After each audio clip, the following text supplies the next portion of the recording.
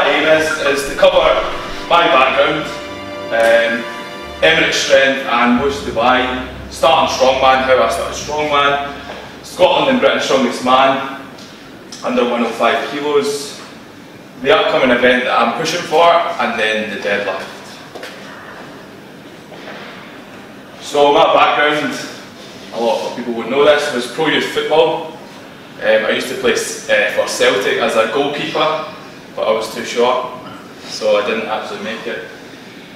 Um, from there, when I was 16, I went to the, Royal Marines, where I did um, eight months of, let's say, the hardest military training in the world. And I progressed on to becoming a physical training instructor in the Royal Marines. Um, so to get to that level, yeah, you sort of had to be, let's say, mentally um, able to cope with that. At the end of my Marines career, I sort of pushed into bodybuilding and sort of wanted to see where I could push my body, let's say physically and mentally in a different environment. Um, where I managed when I was, I think it was 20, I managed to get the Scottish UKBFF uh, champion, junior champion. Then my sort of um, strongman, let's say, career started where I did sort of local events I went from a, a very local event straight into a, a European Giants Live qualifier where Eddie Hall was competing. So I went from local, not having a clue, straight into the, the mix, and uh, I'll tell you more about that uh, later on. And then I went into All Ireland Strongest Man, which was last year, and then I went did Scotland's Strongest Man and Britain's Strongest Man this year, uh, where I managed to finish first. But the, the very first competition I did was a team event. My team won, um, I came second. And then the Giants Live European qualifier, I didn't really understand the weight categories. So I went into the open category, and there was Eddie, there was X, Y, and Z in this category, and I think I came second last. I was totally, was totally unprepared, but I was willing to go in there and put up a fight, sort of thing. And then I went to All Ireland Strongest Man. I actually competed as a guest um, there, where I managed to, I think I came third in that competition, but they couldn't actually present me the trophy at third. Um, but I managed to get a qualifier for Europe um, that way last year. And then I went on to win Scotland's Strongest Man and British Strongest Man this year. So before I start, you're going to see uh, this logo in the background, which is Emirates Strength. The aim of Emirates Strength initially was to create foundations in Dubai for strongman as a sport to grow because when I first turned up, I was the only guy doing it and there was no, literally no strongman equipment, there was nothing. Um, it got to the point where I had one Atlas stone and we got people trained with this one Atlas stone and gradually we've built, slowly but surely, we've now got a strongman room. So that, the aim was to build a, a foundation where a strongman could grow. Um, alongside building the strongman community with events, the Atlas Stones event we did earlier in the year, training where we do the, the sort of strongman classes, even having the equipment in there and seeing PTs train for strongman, for me, it's going to be a benefit. And then leading on to the strongman competitions where we started with Dubai, Dubai Strongest Man, Emirates Strongest Man, and now in December we're doing Middle Eastern Strongest Man. And then last but not least is just to find talent. It's just to find guys who I can push as Emirates Strength athletes into the bigger competitions that I, I sort of push for. And then has everyone heard of WUS Dubai? Has everyone heard of World's Ultimate Strongman?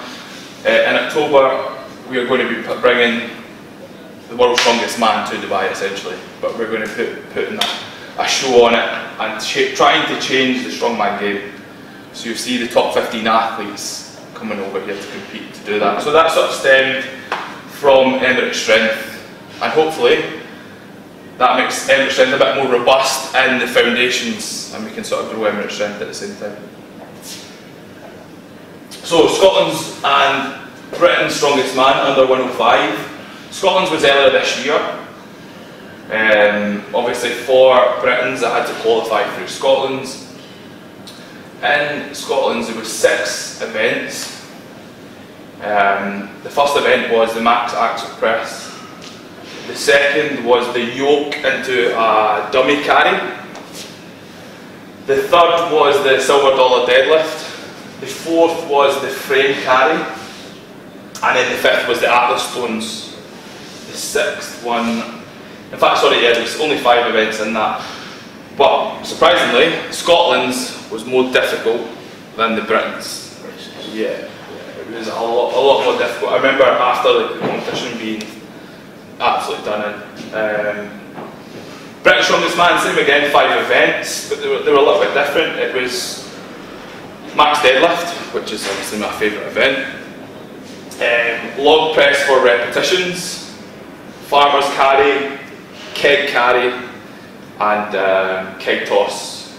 Keg toss sort of replaced the, the Atlas stone, the classic Atlas stones.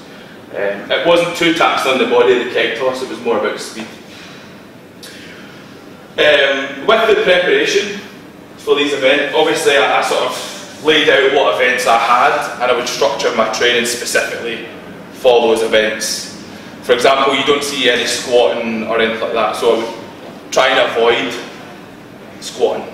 Right? Everything would be very specific to each event.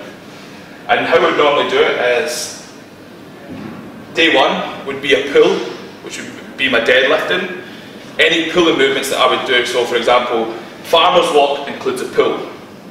So I would focus on day one pulling events, so deadlifting, focusing on the accessories with that and finishing with farmer's walks. Because they all sort of tap in. Deadlifting, you, you work on your grip, farmer's walk, you work on your grip. Pushing, um, if you notice there was a max axle, which is an overhead press, and a log, I would fixate day two on pushing.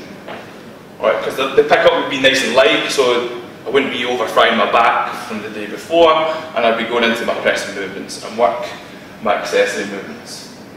And then the third, I would focus on conditioning, the conditioning to the movement. So you've got any of the carrying events with the yoke, the baby carries, the sandbag carries, that would be where I'd work on repetition, repetition, repetition of that movement. And I would take two days off, and I'd go into my strongman day, which I would line up three of the strongman events in that day, and I'd work on it for three, four hours. So I would, I would work on building the weight up, doing that event, completing that three times, and then going to my second event, building the weight up, doing that event three times, and then the third event. So I would try and do them back to back, simulating what would happen on the day. Because what happens with strongman is people don't prepare themselves for five events in a row. It's a bit different to powerlifting where you're doing only three movements and they're all using the same system. Strongman, you're using the static strength, you're using the cardiovascular system, you're using the speed, you're using type 1, type 2. It's, it's a mix. So you need to get your body, your nervous system firing for that. Um, and the golden square. Um, so the golden square is what I like to call your mix of training, nutrition, rest, and can anyone guess the last one? No. Can you maybe guess it? Mobility? No. Movement? Something to do with mental? No. So the golden square, and this is, it's um, very, what's the word? Frowned upon, uh, controversial, is performance enhancers. I want to speak today on it because this is so pertinent in the sport. Um, the golden square can only be completed with this, and competing at a high standard with top end athletes, this is included. Right, I'm not going to bullshit, this is included in, in the, the, sport. And um, a lot of people sort of tiptoe around it, but I think at this level, if you want to be the best, you've got to do whatever it takes to be the best. And if you're not doing that, do you deserve to be the best? And all the top athletes will tell you that. Or they may be hush hush about it, but they'll tell you that. So you said in strongman, um, There is no, uh, across the board from rugby, football, bodybuilding, MMA, across the board, these guys want to be the best, so they'll do whatever it takes to be the best. Um, obviously, this is with the knowledge. Injuries. So during um, Scotland's on the lead up, um, during training, I think it was my second last strongman uh, events day. Last one that I was going to pick up, I tore my bicep. Um, with injuries, I've always sort of took it as a, as a, a physical training instructor in the Marines. Always took it as, as um, if you get an injury, you try and work around that injury in order to, to achieve, not just rest and, give up. Um, if you're always driving forward, whether it's 100 miles an hour, 10 miles an hour, you should be always pushing forward. So that sort of happened. I took a week off and sort of managed to work around that movement until the day, the, day of the competition. And I did it again. I tore my bicep. So you see, like, it's like a small partial tear in the bicep. So you don't deadlift like that. This Yeah. Deadlift. No, this was the atlas stone, so the tension was all going through my bicep. Oh, Um, yeah. It's common in it when you do reverse. Yeah, it's common. The deadlifting, yeah, it's common with over and under. That's why straps get involved. Um, what else happened injury-wise? You were dislocated finger. Yes, my finger. Oh, is that that was before as well. So two weeks before, I managed to dislocate my pinky on farmers' walks. So I dislocated my finger again. I had to focus on rest and recovering and working round it. for it to heal, for me to compete. So, with the injury side of it, again, I'm always about pushing forward, whether it's going one way or working around it and going another. So, again, to be at the top level, you've got to push that way. Um, and in the same with Britain's Strongest Man, I managed to uh, split open my hand, had like four stitches in my pinky, uh, where I split my hand open from glass, and I think it was again, 10 days, 12 days before um, I did it, sorry, it was, it, was, it was 16 days before I did it, I got it strapped up, then 12 days out, Eddie Hall, X, Y, Z came out, and it was my day to, day to deadlift. So what did I do? I went deadlifted. But again, I'm a believer in doing whatever it takes to get to the top. So I, I, as a normal person, you wouldn't risk busting that open again, but being as daft as I am, I did. Uh, and I managed to bust this back open on the keg toss when I tried to catch a keg. Has anyone seen the keg toss video? Yes. Yeah, you see me try to catch it I break it open again. Anyway, programming. Does anyone do strength programming? Do you guys do any? No. strength programming, so there's a, there's a lot of ways to do strength programming. Um, powerlifting is going to be a lot different to strongman. Um, what, how I like to work it is one week light, one week heavy. And I'm talking heavy no more than 80%.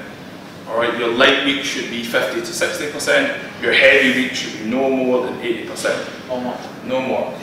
Unless you're I'm not peaking. listening. Uh, no. listen? He's, Yeah, 100 percent. Hundred Yeah, percent of the time. That, that concept is good when you're working repetitions, but when you're working weight and you're working against your nervous system, you're just going to fry your nervous system. You need to build your nervous system to cope with that weight.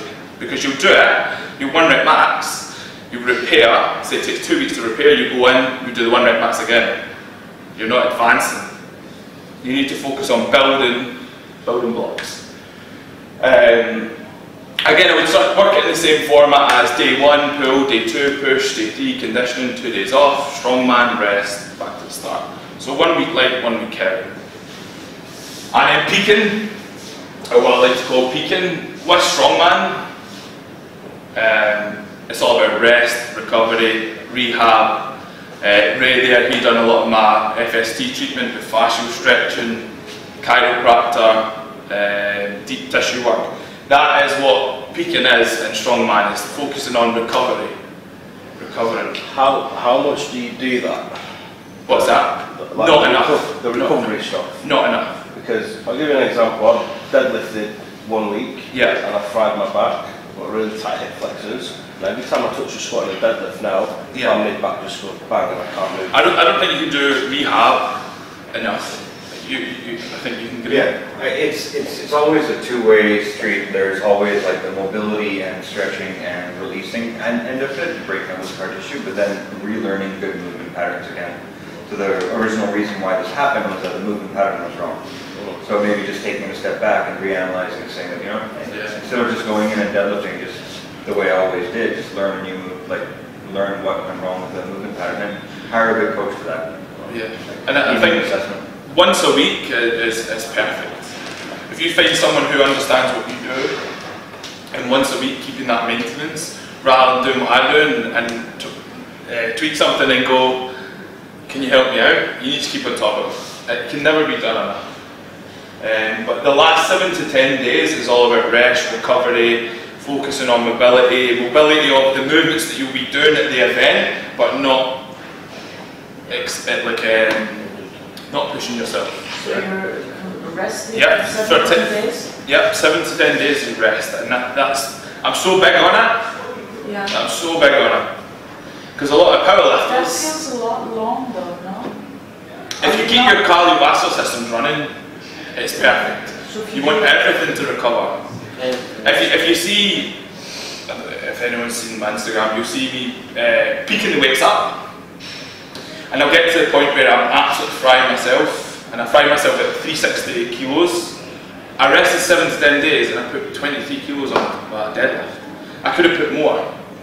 But that's what that recovery is, and that's what all, it's all about. It's building your nervous system to cope, cope, cope, cope. Yeah? That's what me and Bilal. build. And it doesn't happen, honestly, it doesn't happen. Like you're, you're not going to build 60 kilos in your deadlift in a year. I'll be very surprised if you could. And, it's- and if you're doing that naturally as well, it's, it's a different story. Um, 20 kilos in a year is a lot. 20 kilos in a deadlift. 20 kilos in a year. But bear in mind, I'm talking 20 kilos over 10 days, but my previous one at max was 350, which was two years ago. So, you know, I mean, I built that over two years. Um, everyone happy? Any questions? So, the deadlift. Um, everyone here deadlifts, yeah? Does anyone sumo deadlift? No, good. I, I, So would the, the, this I have to, I have to, apparently I have to start to release the tension on We have to do sumo. Anyway, strongman doesn't allow sumo. There's no powerlifter as well, there is one powerlifter. Um, this is to do with the range of motion. Yes. Yeah. Um, strongman is all about getting the weight from point A to point B. If you're going from B to C, it's a bit different. Let's say when you put this one, you Got go. sumo. You Um, start to show. with strongman as well, all accessory equipment is allowed. So you're allowed to wear your suit, you're allowed to wear a belt, you're allowed to wear straps. Um, again, it comes back to that point I iterated before and saying, if you want to be the best, you do whatever it takes to be the best. If you're not using the accessory equipment, you're being silly. Um, because there's a lot of, let's say, raw lifters and strongman that say, oh well, I'm raw. It's like, well, you're still not the strongest. It doesn't matter. So. And what would you say the essential accessories are?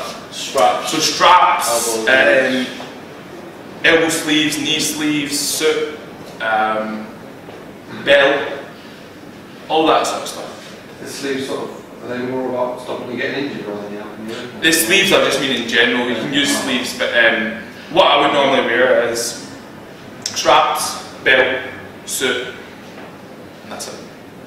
Um, has, has anyone seen figure of eight straps? Yeah. Ah, I Yeah. saw someone, yeah, it. So, Yeah, The yeah, yeah, so that, that I saw Eddie Hall on the uh, 12 days out from Britain, and he said, "Why are you using those straps?" I said, "I've always used them." He said, "Get figure of eights." So the day before I flew, does anyone know Scott Walker? Anyway, I was like, "Look, I need I need figure eights," and he was like, "Yeah, okay, no worries." And I used it first time ever. I used it on the comp, and it's the best decision I've made. Figure eight straps make a massive difference. And again, it comes back to that point, if you're not doing what it takes, or using what you can to be the best, then, but figure of eights are definitely better than normal straps. Um, types of deadlifting, strongman. You'll have seen normal deadlifting, you'll see normal deadlifting with an Olympic bar, with a Texas bar, an elephant bar. Has anyone seen the elephant bar before? Hafthor Bjornsson, he's got the world record in the elephant bar. They it's massive. It's bigger than the standard bar and the sort of plates are like this thick. So the weight's further away from your body essentially. And then we've got silver dollar deadlift, which is part of the varied heights uh, deadlift. Silver dollar, has anyone heard of it? Silver dollar is basically from the 18 inches up. Like the rack pull. Like a rack pull, yeah. It's famous in the States because they used to stack silver dollars in the um, Boxes. boxes, yeah, and they would lift the silver dollar. Um, The elephant power. what, what difference does it make if the weight being wide, does it make it easier or harder? Again, it will keep the weight grounded for longer, and there's more whip in the bar. It's harder. It's harder. Questionable, questionable. Um, I would say the hardest is probably the stiff bar because the weight's compact, it's grounded. If you think if there's flex in the bar and the, the weight's far away from you, it stays grounded, the initial pull doesn't start till here. So again, it can be classed as very tight. Well, you got two inches to, to Yeah. slow, But uh, the record is only for 100 something. 472. something. Um, with the elephant bar as well, it's used in Arnold. Because So it's part of a strongman competition. Whereas Eddie Hall's record was a deadlift championship. So it was solely, purely deadlift. Ah, not okay. I. Yeah. Um, strongman and the brute strength approach. Um, a lot of powerlifters are very technical. They're all about technique and being very clean. Strongman, it's, again, it's all about moving the weight from point A to point B.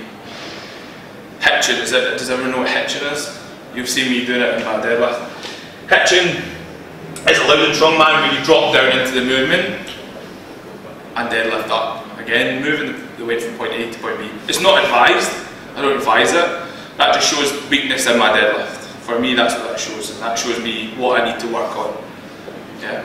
That deadlift should be clean from point A to point B, but you are allowed to hitch. Is that what you see? That's where, that's where you sort of No, drop the back down and, uh, out of the movement and use your quads instead. So I, You put it, you, you put it on your knees, right? you put a percentage of the weight on your knees. Yeah, yeah. I had bruises on my, my thighs. I have seen someone deadlift, and this was at the Britain's, genuinely, deadlift up, squat down, and squat it up. I've seen that, yeah, and it's allowed.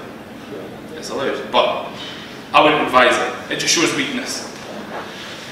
Um, and again, with the deadlift and strongman, it's normally followed by four or five events. Um, a bit different to powerlifting, where there's only two more events. Um, so that's why I, I think strongman is probably the uh, most impressive if you're doing a deadlift as part of a competition that's strongman related. Right, how to improve. So everyone's deadlifted in here before. What, what I like to do with my clients as well is focus on the breakdown of the movement. So you've got two parts of the movement, which is the leg drive, the initial pull, and then the lockout. So we break it down into two movements. You then want to focus on the timing of the movement, so where the timing of your lockout comes in. What a lot you see a lot of people do is they'll deadlift up and they'll raise their hips first. Right, that overloads the hamstrings and then it just turns into a full uh, back movement, lower back movement. Is that you, is it? So you want the, the movement to be timed correctly. How I like to, to focus on the timing is as soon as the bar is above my knees, I focus on locking my knees out, not my hips. What a lot of people do is they come up above the knee and the hips come through. Yeah, that's right. Yeah? That in strongman would be classed as a lockout, or in any, any lifts. What you want to focus on is the lockout of the knee. If you lock the knees out faster than your hips, your hips are going to automatically come through. Alright? What, what, what, what muscle are we using to lock the knees out compared to, because you've got the glute to push the hips. Hamstrings and glutes. Hamstring. If you use your hip thrust is normally lower back and glutes. Hamstrings and glutes are that initial fire for the for the um, lockout. So is it counted as a successful lift? As long as you straighten your- legs or your knees? If you're locked out and, and the, the shoulders are pulled back, over, is if your shoulders are pulled back, you need to have your shoulders pulled back. Yeah. Um, but that's when the lower back becomes involved in the lats. So when you broke down the movement, the timing, you want to pinpoint, uh, pinpoint the weaknesses. Again, so we've got two factors to focus on, the leg drive and the lockout. I would always, always, always focus on leg drive because it's the first stage of the movement. If you can't get the weight off the floor, you're never going to find that second weakness. So this was something I always focused on was leg drive, and it got to a point where I was forgetting about the lockout, which was apparent in my last deadlift. So now I'm focusing on more on the um, lockout part. So you want to pin, pinpoint your weakness, but always focus on leg drive. So you can't get off the floor, then what's the point? Forms of deadlift. So there's four forms of deadlift that I like to use as part of training. Speed, deficit, banded and block. Speed, um, I like to focus on volume and how fast the bar moves. Okay, so from point A to point B, I want that bar moving as fast as possible. Alright, and that's, there's nothing involved, special involved with it, it's just a deadlift, and I'm focusing on speed. I then- then like to carry that on to deficits.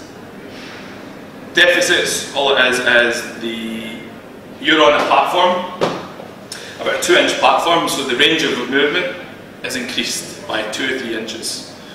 Alright, so that is more focused on your leg drive, the initial push, so you're driving more through the legs. Again, I revert that back to speed, I want to focus on the speed of the movement, so I create a speed deficit deadlift. Yeah? Then banded.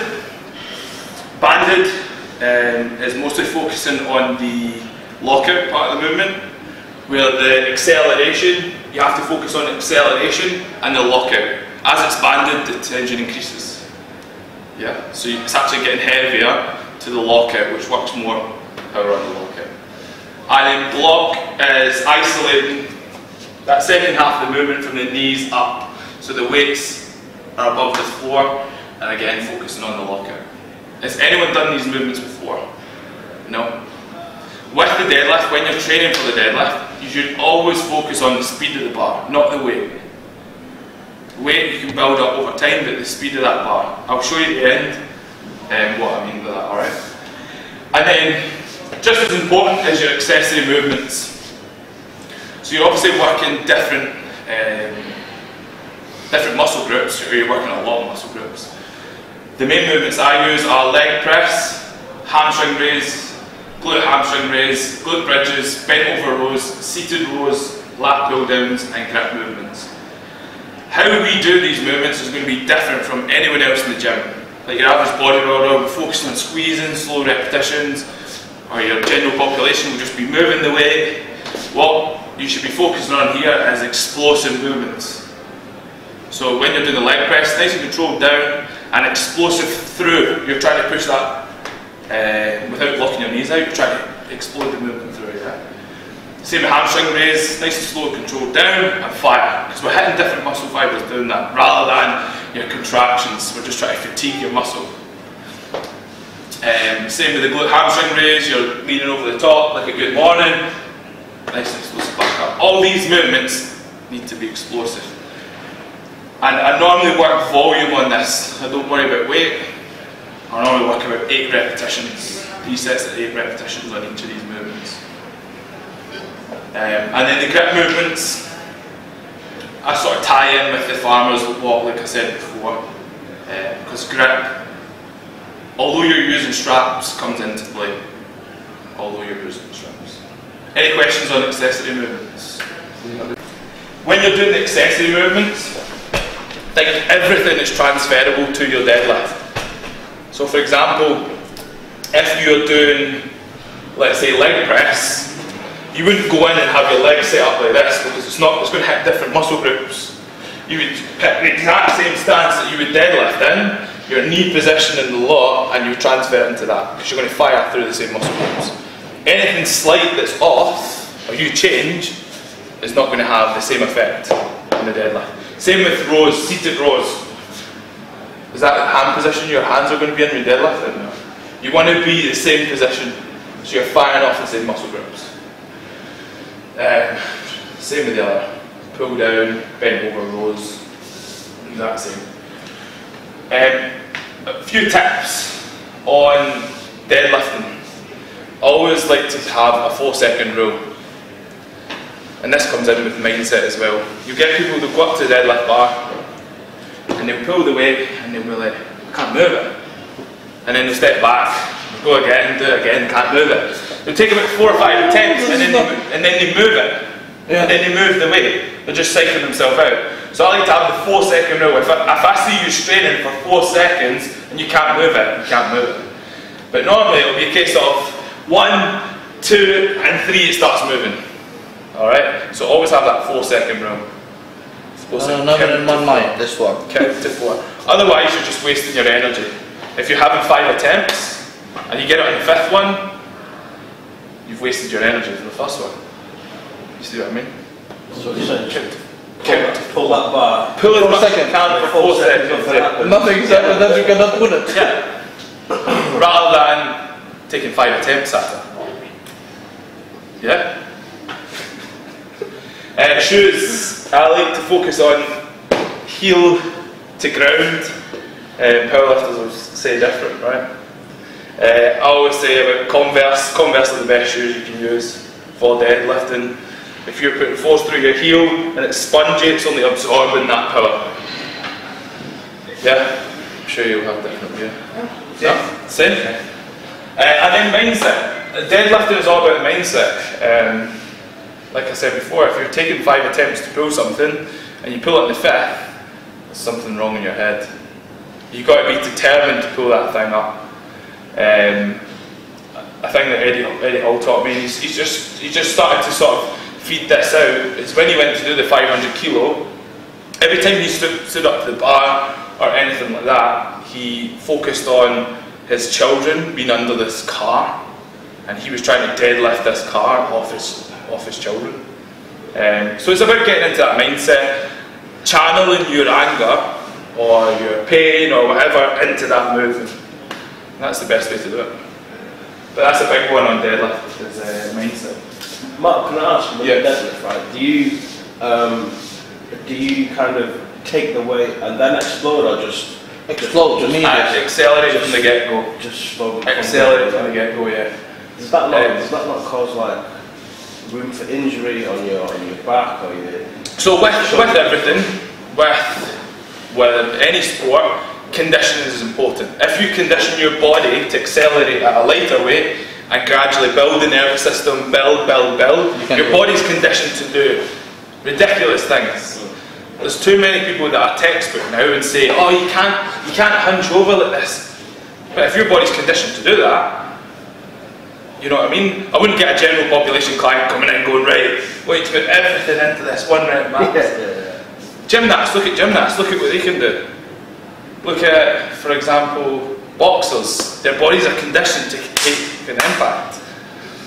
And, that, and that's what's wrong with, let's say, the fitness industry here, today, whatever. It's- Too many people are textbook.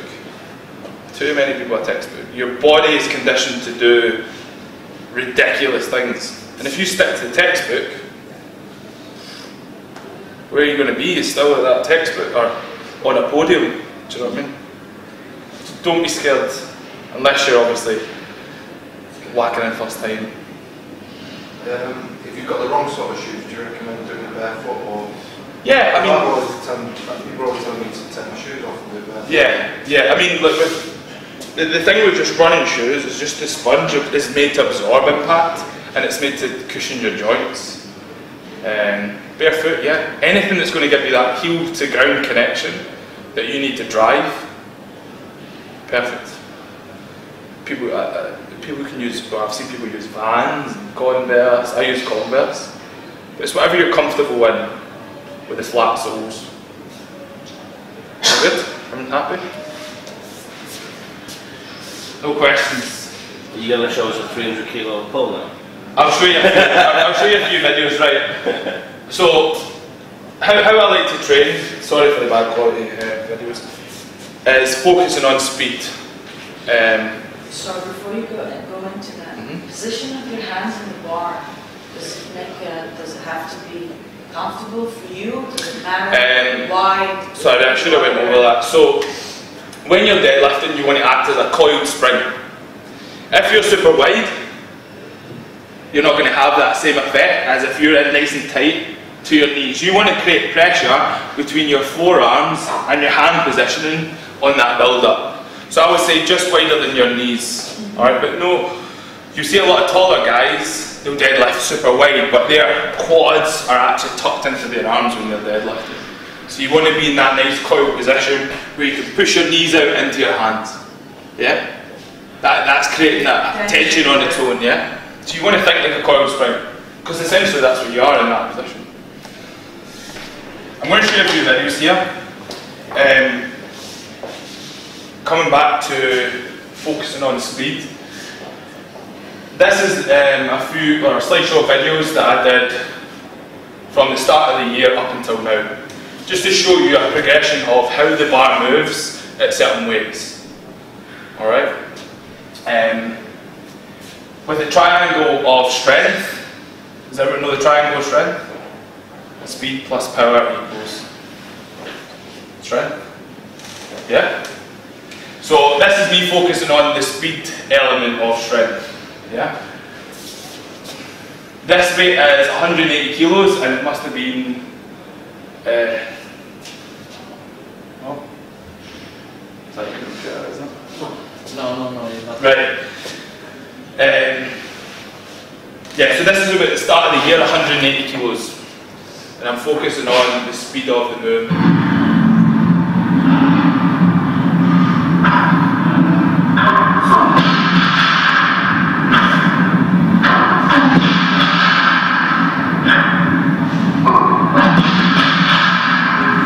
So if you notice there, the speed's not great. Alright, but coming back to your point, you see my hips are quite high, but I drop them and go. Yeah. So again, that's me trying to focus on leg power, driving through my legs. So, and you're not focusing on, on keeping your back straight, No, right? no. Not at all. Uh, with, with my deadlifts as well, you see my back is slightly Yes. bent. A lot of people disagree with this, but my body's conditioned to, to, to lift that way.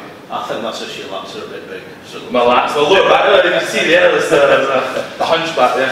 But my body's conditioned to deadlift that, and it always has been. Uh, So you've got a strong back. As, as long as you're, it's, it's to do with the, the, your spine, correct me if you're wrong. If you're releasing the spine, right, my, my back's under tension there, and my spine's under tension in that position.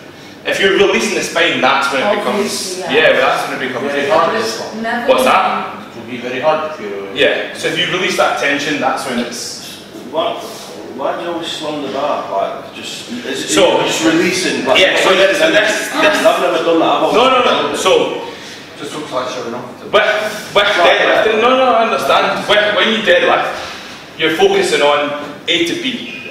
That B to A does not matter. Doesn't matter? So doing a negative, doing a negative is going to have, oh, it will have partial Uh, benefit. But for me, when I'm focusing on that acceleration from A to B, B to A, I'm trying to control it down at the blink without exerting. So I'm trying not to waste the energy when I'm going down, yeah? So I'm, I'm always focusing on that power up, control down. So I'm releasing the bar without exerting anything. Like that, that B to A, I'm I'm not putting any strain into it. So you're just releasing it like that? So I'm, I'm releasing it, my hands are still limp, got wraps Yeah, on, yeah, yeah. but I just release the tension. Okay. So You're not Yeah. throwing, you're actively throwing it down. no, no, no, no, I'm not throwing, I'm not throwing down. It's, it's, it's just that release of tension. He's just his arms are bouncing so he doesn't get the shock in the elbow. Yeah. So that was 180, and then going into, I think this is 180 again, but a few weeks, a few, few a month or two later. So it's progressively moving faster now. And again, if you look, watch my knees, my knees focus on the lockout rather than the hips, which is where people go wrong. In my opinion, it's where people go wrong. It's focus on the hips coming through and overloading the back, extending the movement further than you need to. Whereas the knee, as soon as it comes above the knee, these knees lock out, and that develops the speed. Right, so the benefit of you, you're at the top position and you're then overstressing the, the movement, that's basically just a bit more exertion on the lats, right? Yeah, you're putting, Nothing more than. and, and you're, you're increasing that range of the movement, whereas you should be focusing on the speed and engaging the hamstrings and glutes. This, this, the speed that dictates on how quick you lock out the knees. If you don't lock them out quick, that's when you start hitching, that's when you start grinding the ribs out. Um, this is moving on to 220. This one, this one is? I think this is maybe just before Scotland's, I think it was. Three months ago.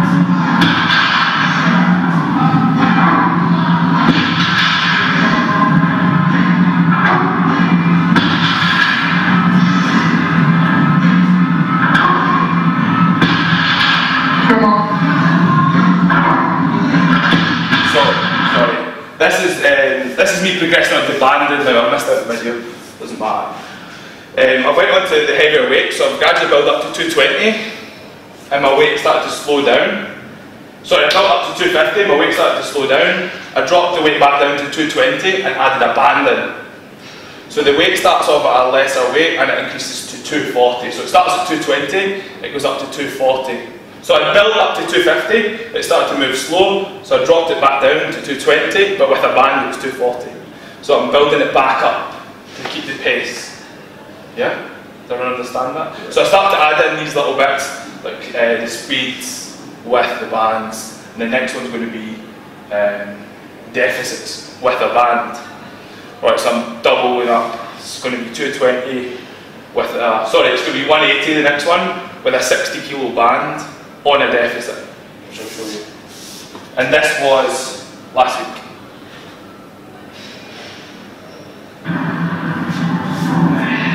Differences in the speed, but I've gradually built up the, um, let's say, the difficulty in the movement. So you see I'm on a two inch platform and the band is 60 kilos. So it's increasing the range and the tension increases at the top. So I'm focusing on locking. So if you notice, notice the first half of the movement's fast, and then in the second half I'm trying to work on the lockout, which is my weakness. Alright, and then if you notice as well, the reps are in 10, 15. I'm focusing on low range and focusing on sets. So you wouldn't see a sprinter sprint a thousand metres when he's a hundred metre sprinter. He would do 100 metres repetitively. Yeah? Or he'd break down and do 50 metres, that's that initial 50 metres, rather than doing 500 metres. He would do 50 metres 10 times. See what I mean? Yeah? So you keep the reps low, work on sets. So you're fresh for the second set, fresh for the third set, fresh for the fourth. Get what I mean, yeah? Um, so this is going to go back to my programming now. I would focus that light work, what I just did there, one week, and then the second week I gradually build up my nervous system. So I would start around 70% and then keep up to 75% my one rep max, 80%, and so on and so forth. Alright? I tend not to go above 80. This is around 80. Alright, this is 340. And all I'm trying to do here is get used to the suit. I've got a suit on. Get used to wearing my belt. Get used to the Texas bar. Alright, so getting used to the heavier movements, getting my nervous system coping with it. And you notice these are graph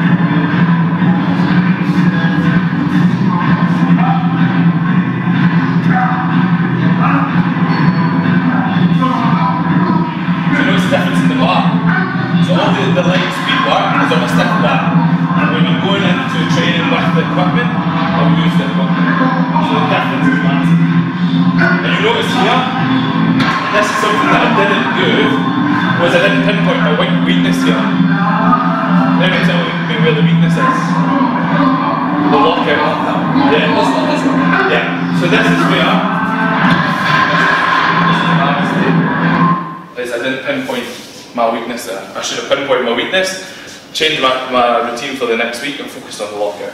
Um, and that's something I've learned from. Alright?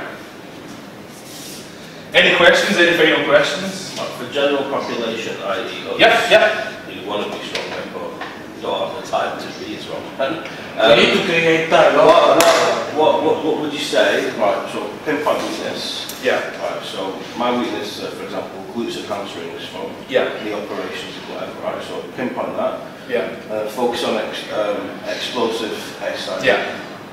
Is there any two or three exercises that you would say focus on first? So are, are you, are you talking about strongman or deadlifting? I'm just talking about deadlifting. Deadlifting. So the pinpoint of your weakness is it the lockout or is it the initial leg drive? Knockout. Lockout. So what I've learned with the lockout is to simulate the lockout movement but overload it. So like the banded work, I've got the acceleration in my legs, but as the movement increases, it slows down. Are you talking about accessory movements or? Like Yeah. leg press or something. Yeah. So accessory movements with the lockout is glute bridges, glute ham raise. Um, let me get the list back up. I'll just, I'll just point it to you. So your glute bridges and glute ham raise are going to be the ones that are, are helping your lockout. Yeah. The glute ham raise. You've done the glute ham raise before, where you're at an angle and you're leaning over the top and you're powering up, just like a good, good morning, Yeah. similar to a good morning. But do that with dumbbells. Yeah. So what I'll get the dumbbells, I'll wrap my hands in and I'll go through the movement, power movements, focusing on the lockout. Um, again, focusing on that slow negative or controlled negative and powering up. Slow controlled power. Same with glute bridges. You're simulating that hip drive, but the knees get involved. Yeah. Yeah? Alright. Any other questions? As I say, the leg press and the hamstring raise are all to do with the leg drive. The glute hamstring raise and the glute bridges are to do with the lockout. Same with the bent over rows, the seated rows and the pull down. You'll be surprised, they're to do with the lockout as well. Because at the top, not only are you locking your hips, you're locking your back. So you need that initial or the last pull of the back to, to lock out fully. Alright? Any final questions? No? All good, Vicky, you good? Yeah? If you like this video and want to see more, please hit the subscribe button. Fu- I was going to say if not again. And follow us. Yeah, follow us. Okay. Oh. And follow us at Emirates Strength, at WUS Dubai, or at Pro- Project Generation Strong. Thanks.